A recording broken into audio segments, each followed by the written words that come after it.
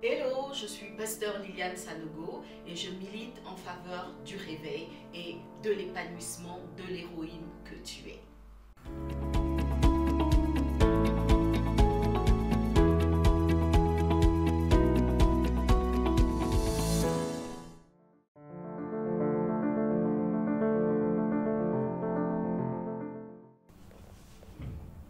Lorsque tu te lèves le matin, à quoi penses-tu? Est-ce que tu te dis, voici, cette journée est ma journée et j'espère que les gens feront pour moi ce qu'ils doivent faire?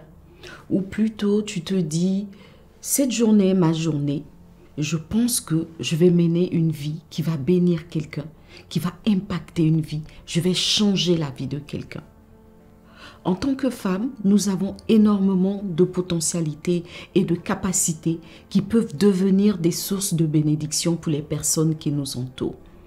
Notre héroïne de Proverbe 31, par ses actions, bénissait et la vie de son mari, et la vie de ses enfants, et la vie de ses servantes, et même la vie des indigents qui étaient dans son environnement. Toi aussi, tu peux devenir une source de bénédiction. Alors, mets tes potentiels, tes capacités, tes compétences et même tes ressources au service des personnes qui t'entourent. Et tu verras que la vie n'en sera que plus belle. Sois une source de bénédiction et tu seras plus heureuse car la parole de Dieu dit il y a plus de joie à donner qu'à recevoir. Décide que cette journée, tu vas mener une vie qui bénisse quelqu'un.